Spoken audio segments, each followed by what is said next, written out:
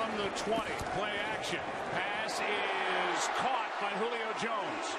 And about the time Desmond Trufant went down, he was asked to come in and play, and he's done a good job. More play action. Pass is to Jones, who gets his feet down.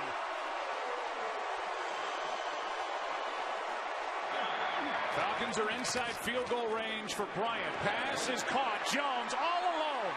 Full head of steam inside the 15. They're all up on the line for Green Bay. Now some back out. End zone. Jones. Touchdown.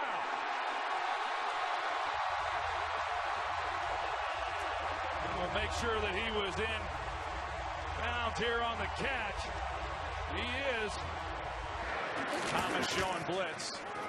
He comes with a blitz. Falcons pick it up, and there's Jones. Flag is down. Julio Jones with a catch. Still going. Still in bounds. Touchdown, Atlanta. They're probably going to get Ladarius Gunter on the call. Look like that's where the flag came from. No match to try to play man coverage on Julio Jones. The pass. Holding. Defense number 36. Penalties decline. Result of the play. Touchdown. How about Julio Jones?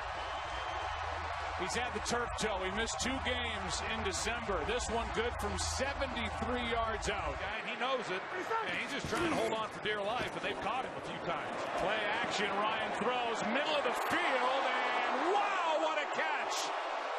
Jones gets flipped and hangs on. Unbelievable grab by Julio Jones. And Jake Ryan, who was in on the stop. And there's Gunter, who went low to take the legs out. Ryan comes away injured on that play. Now, Julio Jones, he can play any game you want to play. I mean, if it requires him having to get physical, he can do that. He's a big guy that can run, as I said a moment ago, and he's as tough as they come. And for him to